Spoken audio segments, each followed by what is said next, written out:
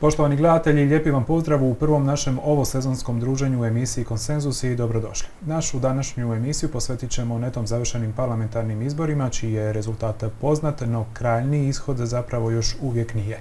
Tim povodom naša današnja gošća u studiju je gospođa Marijana Puljak, predsjednica stranke Pametno. Gospođo Puljak, lijepi vam dobar vam dan i dobrodošli.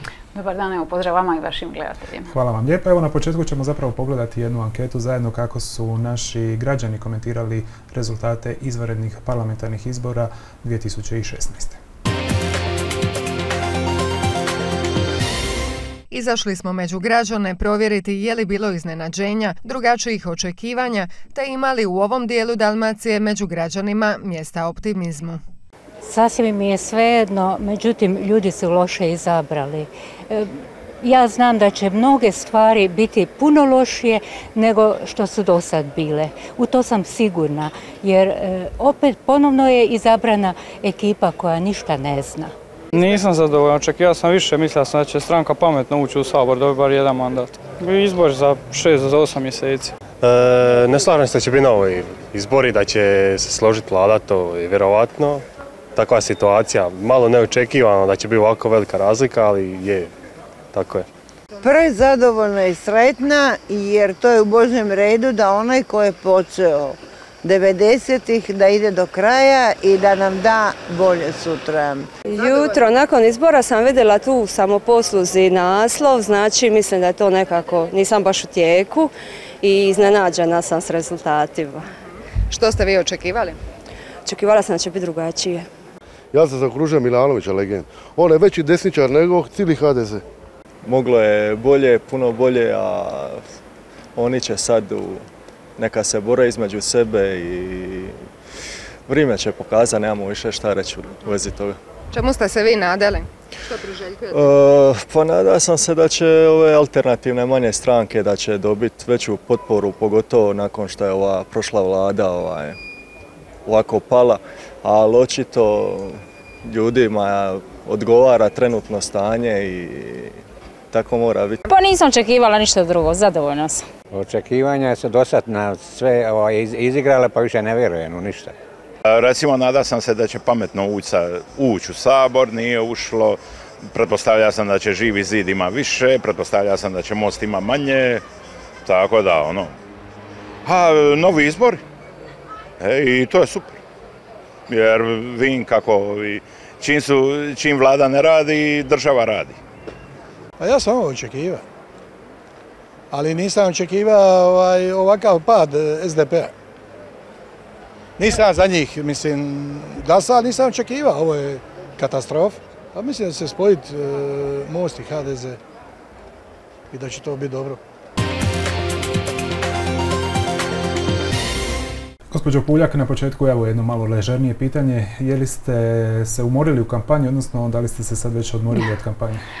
Umorila se, jesam, moram, moram priznati, to je zaista naporno. Treba će mi, ja mislim, dosta dugo da pohvatam broj sati spa, sna koje sam izgubila u ovoj kampanji, ali polako se odmaram. E, evo, iskoristila sam jedan dan nakon izbora da malo povratim snagu, što se kaže, ali evo, idemo u nove izazove. Novi izazovi nas čekaju, ima dosta posla za sve skupa, za sve nas, tako da evo, Radujem se novim izazovima. Novi izazovi u političkom ili privatnom životu? Pa u, političkom isto tako, i naravno u privatnom na poslu, bila sam tri tjedna na godišnjem, sad ima ono dosta, dosta posla kojega treba pohvatati i ovaj, vratiti natrag na, na kolosijek, obitelj koja isto tako e, dosta, kažem, patila zbog e, izostanka evo, oboje roditelja, ali evo. Kreće, krećemo naprijed. Kako je to zapravo sudjelovati u jednoj tako velikoj predizbornoj kampanji? Je li to ono što ste očekivali? Jeste li možda razočarani? Kako je to bilo s one unutarnje strane?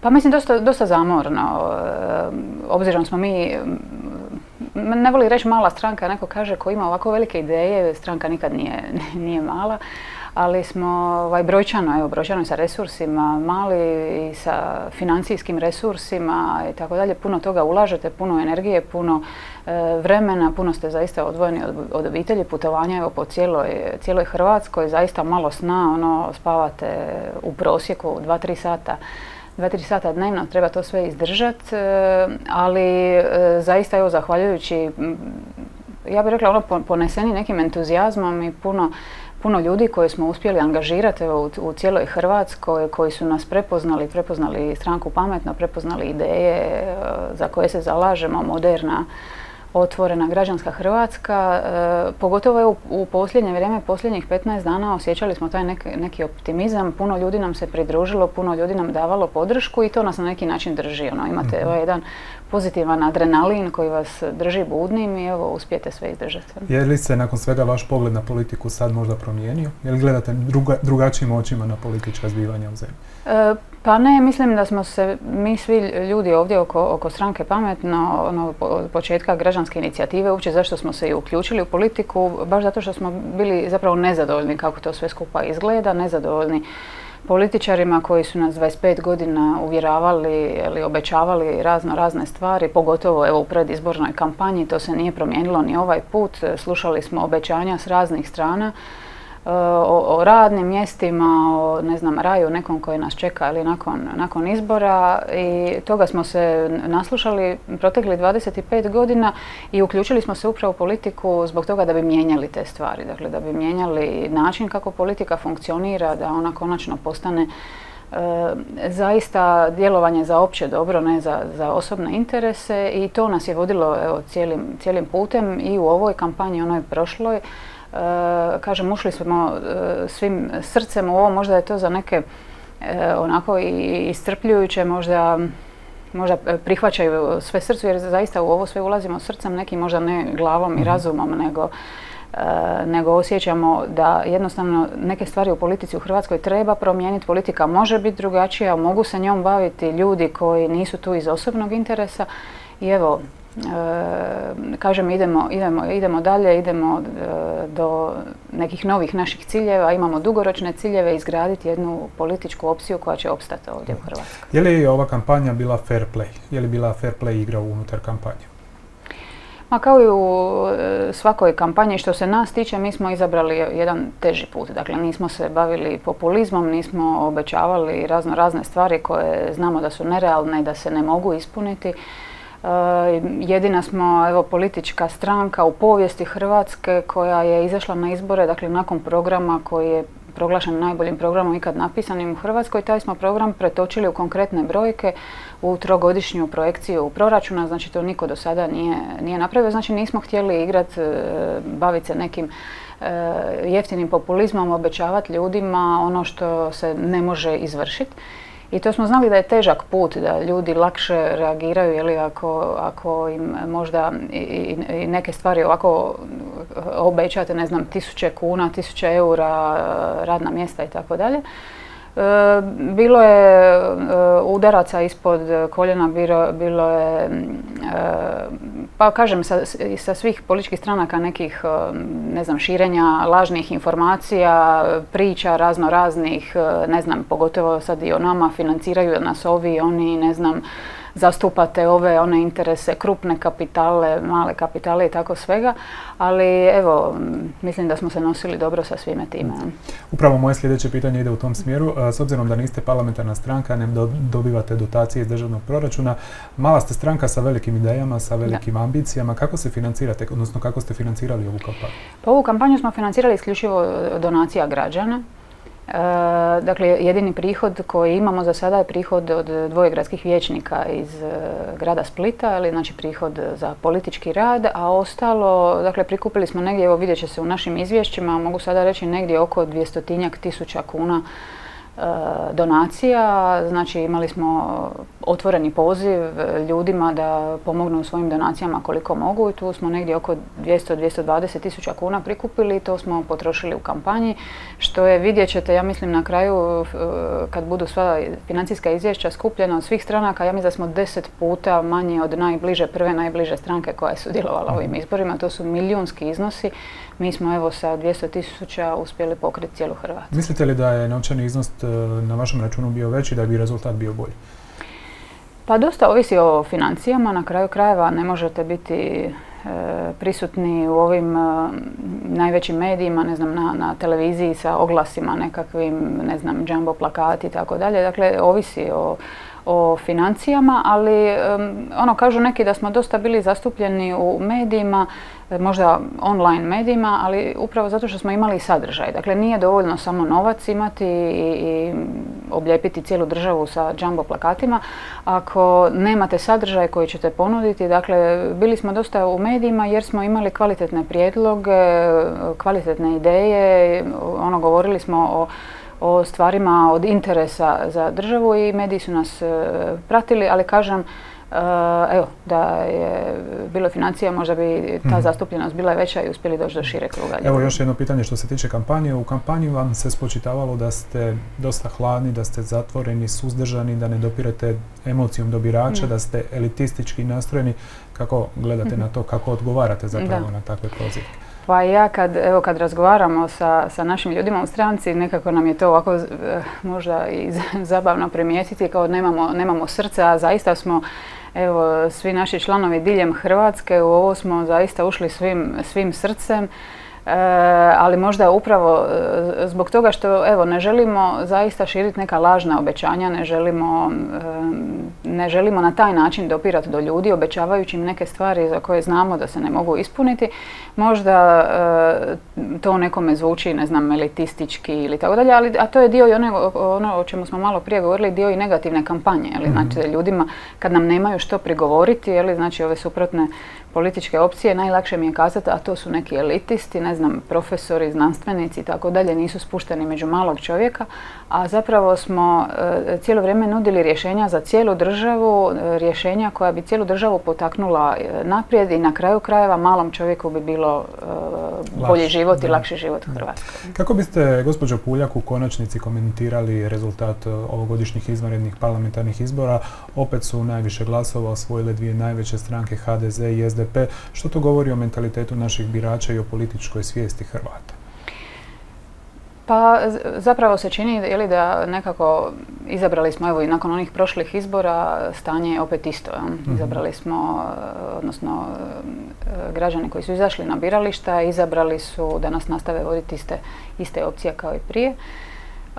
mi smo, Hrvatska je, evo, E, rekla bi uči se demokracije. Mi smo e, mlada demokracija, 25 godina i mislim da se i građani, evo svi skupa moramo preuzeti neku odgovornost na to da i građane na neki način educiramo koji su to alati u njihovim rukama ili kako mogu e, zapravo tražiti odgovornost od političara. Znači da su oni su ti koji moraju pozivati na odgovornost, oni su ti koji moraju kažnjavati političare ako se s njima ne slažu ili ih nagrađivati ako odražavaju njihove vrijednosti, ispunili su neke njihove njihove ciljeve. E, to je, eto, zašto nam kažem, zašto nam fali građanski odgoj čak i u, osnovnoj i srednjoj školi, da zapravo i, djecu našu naučimo, dakle što su to izbori, čemu služe, da je važno izaći na izbore, ne evo kao što sad imamo ovdje slučaj abstinencija najveća u mhm. povijesti svih e, izbora Hrvatske. E, znači građani na, na jedan način ili moraju naučiti da je u njihovim rukama zapravo Znači, izaći na izbore i kazniti ili nagraditi onoga s kime se Alat je u rukama građana. Kako očekujete da će se rasplesti ova situacija sada u novom sazivu parlamenta? hoćemo li imati u konačnici čvrstu, stabilnu vladu ili ćemo na prijevremene parlamentarne izbore? I sad već imate ipak neko političko iskustvo i za sebe možete predviđati. Da. Pa e, čini se, e, e, ja se samo nadam prvo da formiranje vlade neće potrajati onako dugo kao, kao prošli put. A čini se da ćemo na kraju, kažem, bila sam u izbornoj noći rekla da se bojim da će, da će ponovo doći do nestabilnosti ponovo ćemo na izbore možda u roku godine dana.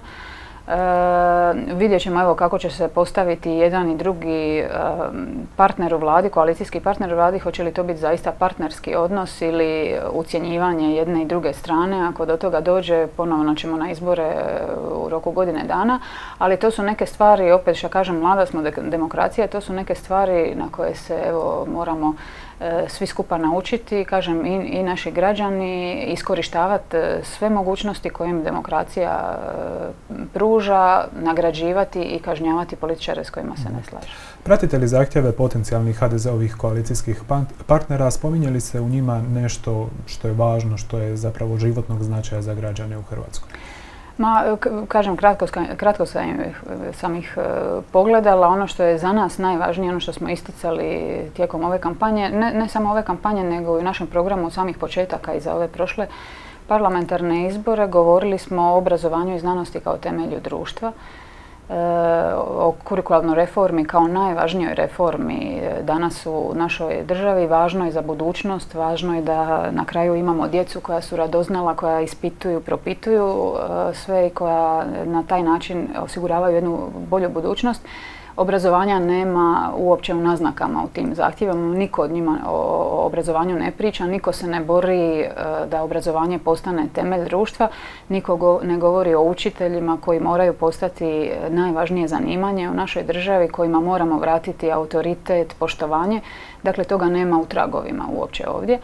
Govori se o nekim važnim i manje važnim e, stvarima, o nekim stvarima koje e, su neke i realno, jesu li uopće moguće, nemoguće, treba ispitivati o gospodarskom pojasu, je li e, možda je već, stvari su već definirane, mhm. da ne možemo utjecati na njih.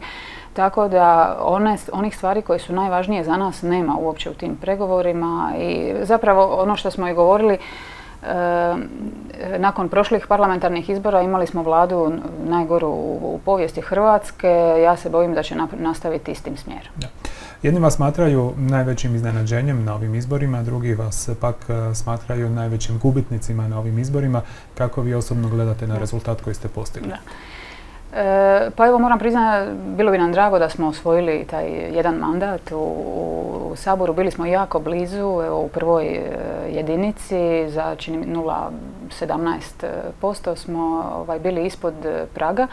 Međutim, mi kada gledamo svoje dugoročne ciljeve, znači ovi parlamentarni izbori su na neki način upali mimo plana, ali mhm. nisu, izvaredni su, jel, prije vremeni. E, kad gledamo svoje dugoročne ciljeve, e, mi smo sebi postavili cilj dakle, da izgradimo jednu ozbiljnu političku opciju, ozbiljnu političku stranku na duge staze koja se zalaže evo, za moderno, otvoreno, tolerantno, građansko građansko društvo i e, znali smo evo da je to težak posao.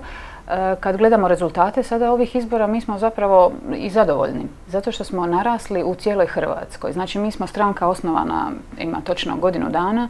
U tu godinu dana imali smo dva puta parlamentarne izbore, na prvim parlamentarnima izašli samo u tri izborne jedinice. Sada smo, evo, nedugo nakon tih prvih parlamentarnih izbora naših, u šest mjeseci smo uspjeli pokriti cijelu Hrvatsku, potaknuti evo ljudima koji su nam se zaista javljali iz cijele Hrvatske i ostvarili za tako jednu stranku koja tek počinje zavidan rezultat. Skoro 40 tisuća građana je glasalo za nas, nemamo izborne jedinice u kojoj nismo barem 1% osvojili, čini mi se da smo u petoj, smo ispod 1% sve druge, ove tri koje smo izašli prošli put, sada smo po nekoliko puta e, narasli u tim e, jedinicama.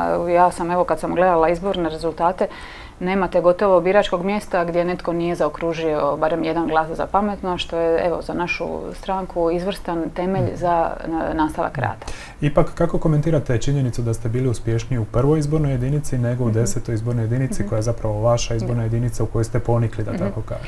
Pa i kad, evo, kad, i, i to pogledate, dakle, deseta izborna jedinica, ako gledamo recimo samo rezultate Splita, grada Splita, tu smo imali nešto poviše 6% rezultat, onda kad pribrojite sve ostale e, sve ostale jedinice, onda smo bili ovaj, e, ispod praga. Međutim, i tu smo zadovoljni, recimo u Dubrovniku smo narasli jako Makarsko, na otocima, jako smo na otocima, svugdje smo negdje na 2,5% i tako dalje, od, od nule, od, od onoga da nismo postojali tu negdje. A u prvoj jedinici, evo bili smo, u pravu ste, bili smo najbliži u, prvoj jedinici, e, to je odraz i ovog izbornog nekog sustava, možda je prva jedinica e, najviše ljudi koji možda razumiju ideje o kojima o kojima e, govorimo, pa smo i tu bili najbolji. Mhm. Da ste ušli u Sabor, koje bi vam se političke opcije obradovale, a koje zapravo ne bi vam se radovale? Pa ono kako smo govorili i tijekom kampanje, stvari za koje se zalažemo, vizija Hrvatske, kako imamo i neke vrijednosti ili koje promoviramo, liberalne demokracije, jednostavno ih ne vidimo ni u HDZ-u ni u Mostu. Jednostavno to nije oni se zalažu dakle i svojim radom koji su pokazali u proteklih 6-7 mjeseci svoje vlade, pokazali su, evo, zaustavili su kurikularnu reformu, niz drugih problematičnih odluka, civilno društvo je ugroženo, evo danas imate udruga civilnog društva koje se zatvaraju zbog zaustavljenog financiranja i tako dalje. Dakle, neke te vrijednosti u društvu jednostavno ne vidimo ih u HDZ-u i Mostu. S druge strane, Narodna koalicija je isto tako u, ovoj predizbornoj kampanji te civilizacijske vrijednosti dovodila pod upitnik, e, obraćala se i desnom e, biračkom tijelu, ali oni su na isti način zapravo kao dakle SDP i HDZ su protekli 25 godina na isti način upravljali zemljom. Znači to je bila politička trgovina, klijentelizam, korupcijske razne afere i jednostavno da smo s druge strane e, vidjeli možda ljude koji žele promijeniti politiku, koji, e, dakle uvijek želite surađivati, želite naći partnera s kojim bi surađivali, međutim to zaista trebaju biti ljudi koji nisu sudjelovali u svemu ovome protekli 25 godina. Da smo našli takve ljude za suradnju, bili bi za suradnju. Vi ste stranka koja zagovara modernu građansku Hrvatsku. Kako potaknuti mlade, kako potaknuti one koji su razočarani u političare, visoko obrazovane e, ljude da izlaze na izbore? Evo nešto ste govorili i o toj velikoj abstinenciji, odnosno o nikaj manjem odazivu birača na izbore. Jesu li to novčane kazne ili neki drugi motiv? Pa da, to je zapravo poražavajuće. Ovi su izbori, dakle izbori sa najmanjom izlaznošću, ja mislim u povijesti Hrvatske, 52% ljudi je izašlo, znači evo skoro 50% ljudi nije uopće izašlo na izbore, dakle nije vidjelo, nije vidjelo opciju ili je, evo, ponašanjem političara u posljednjih 25 godina su apsolutno razočarani i ne vide šansu za išta promijeniti pa nisu ni izašli na izbore. E, šta tu napraviti? Ja bi prije e, svega, rekli, svega rekla e, opet promijeniti način na koji politika funkcionira. Znači vratiti odgovornost politici i političarima, tražiti od političara odgovornost, vratiti, evo kazat ću, vjerodostojnost iako je ova jedna HDZ koristio vjerodostojnost u kampanji, a najmanje su vjerodostojni, najmanje imaju prava koristiti tu, tu riječ. Znači, nama svima je na neki način odgovornost da ljude uvjerimo da ima šanse promijeniti stvari. Znači, ono, mi smo evo stalno i tijekom kampanje one prethodne govorili da mi jednostavno primjerom svojim pokazujemo da se stvari mogu mijenjati. Nama su stalno od od kad smo se počeli baviti tako političkim radom u gradskim kotarevima, u gradu Splitu, u gradskom vijeću, govorili su zašto se time bavite, ne možete ništa promijeniti, nema šanse za ićim. Međutim, e, znate kako se ono kaže, sve što se hoće, e, to se i može napraviti. U e, rukama građana su alati za mijenjati stvari. U svibnju dogodine nas očekuju lokalni izbori kada biramo lokalnu vlast. Kažu mnogi da su parlamentarni izbori dobar test za političare i da će se to na neki način preslikati na lokalnoj razini. Pa u tom kontekstu što vi onda očekujete na lokalnoj razini? Pa zapravo su parlamentarni i lokalni izbori su skroz e, drugačiji tip izbora, mhm. ali drugačije su teme o kojima govorite. E, na parlamentarnima, dakle to je jedna globalna slika cijele države, bavite se globalnim temama nekima, već na lokalnim izborima e, spuštate se jednu razinu ispod i govorite ono o lokalnim problemima, skoro ili pa komunalnim problemima u vašem, u vašem gradu. Ono što se nas tiče, e, kažem, imamo jedan e, pozitivan vjetar u leđa, rekla bi u cijeloj, u cijeloj Hrvatskoj, znači imamo po cijeloj Hrvatskoj sada timove ljudi, grupe ljudi koji su zainteresirani za sudjelovati u životu i lokalne zajednice, od evo kotarskih izbora do, do lokalnih, sada sljedeću, sljedeću godinu. Ja se nadam evo da ćemo naš koncept e, pametnog grada koji smo i na prošle lokalne izbore e, promovirali ovdje u Splitu, sad ćemo ga ponovo doraditi, okupiti dobre ljude kao i prošli put i građanima se predstaviti evo, najbolje moguće i evo, na njima je, kao mhm. kažemo, na njima je da prepoznaju to o čemu govorimo, na njima je da valoriziraju i naš rad u četiri, godine gradskog vijeća. Jesmo li bili vjerodostojni, jesmo li bili dosljedni u svojim odlukama i odgovorni, evo, nadam se dobrom rezultatu. Jeste li vi kandidatkinja za gradonačelnicu stranke Pa to, to će odlučiti e, skupština stranke, to ćemo, o tome ćemo na vrijeme govoriti. I još e, samo jedno pitanje pred kraj emisije. Neki političari, odnosno političke opcije zagovaraju izmjenu e, izbornog sustava i preferencijalnog mhm. glasovanja po kojem bi se zapravo moglo zaokružiti više kandidata na listi. Jeste li vi za to? Mhm. Evo možda sad u sljedećim lokalnim izborima. Mhm. E, pa mi se zalažemo, evo, e, Gong je predstavio niz, niz prijedloga ili kako izmijeniti izborni zakon. E, podržavamo te njihove prijedloge. Jedan od prijedloga je dakle i preferencijalno glasovanje, tako da na jednoj listi možete zakružiti i više, više kandidata. To bi bio jedan dobar, dobar prijedlog, ali i izmjena ovih izbornih jedinica u skladu sa regionalnom izmjenom kako smo se zalagali tijekom kampanje u lokalnu reformu lokalne samouprave. Znači to bi bio jedan put e, e, ka nekom i boljoj e, zastupljenosti predstavnika, ali znači boljem predstavničkom tijelu koje bi na neki način bolje odražavalo želje građana. Da. Evo, gospođo Puljak, ja vam se zahvaljujem što ste bili naša današnja gošća u emisiji Konsenzus i vjerujem da će biti prigode da se ponovno sretnemo ili na terenu ili u studiju. Nadam se, svakako. Hvala vam. Hvala i vama poštovani gledatelji na pozornosti. Pratili ste prvo ovo sezonsko izdanje emisije Konsenzus. Ako ste nešto propustili u našoj emisiji, potražite to u rubrici videoteka na adresi www.mreza.tv.